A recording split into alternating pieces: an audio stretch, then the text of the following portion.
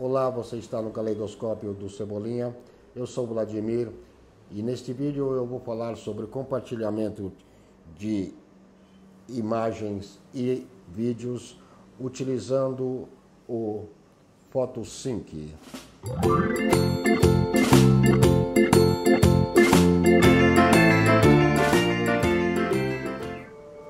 O motivo de eu estar tá fazendo este vídeo é que durante um tempo eu não conseguia é, compartilhar arquivos do meu smartphone com o meu Mac OS. Era impossível. É, os dois sistemas não são compatíveis. Eu colocava o, smartphone ligado no USB do iMac e simplesmente eu não consigo ler.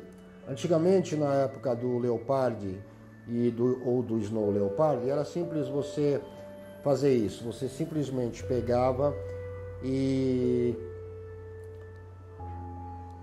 utilizava o Bluetooth para compartilhar esses arquivos. Mas hoje em dia é muito difícil você compartilhar é, imagens e fotos entre esses sistemas operacionais.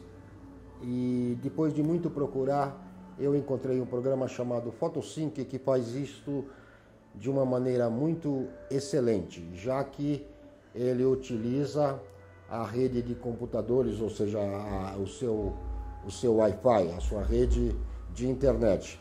E assim é muito fácil você compartilhar arquivos entre Android e macOS, é, macOS e o Windows e assim por diante.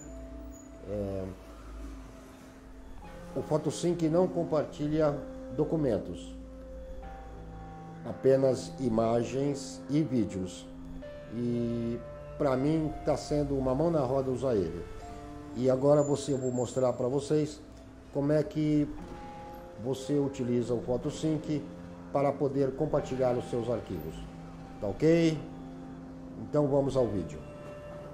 O motivo de estar usando o PhotoSync é devido ao fato de que atualmente é muito difícil compartilhar arquivos, imagens e vídeos entre os sistemas Android, macOS e Windows.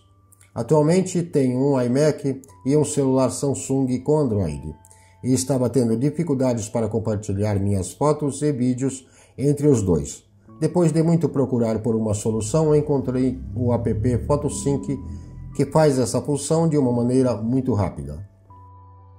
O PhotoSync é compatível com os três sistemas e você o encontra na App Store para o iOS, no Play Store para o Android e, se precisar desse programa para utilizar no Windows, basta fazer uma busca no Google. Para utilizar o PhotoSync, ele deve estar ativo nos dois sistemas e ambos devem estar conectados na mesma rede de internet. E é justamente por usar a mesma rede que o programa compartilha os arquivos de forma bem rápida. Para transferir suas imagens e vídeos através do PhotoSync, abra o app no sistema que irá receber os arquivos Abra o app no sistema que compartilhará os arquivos. Selecione as imagens e vídeos que deseja transferir. Clique no ícone de transferência.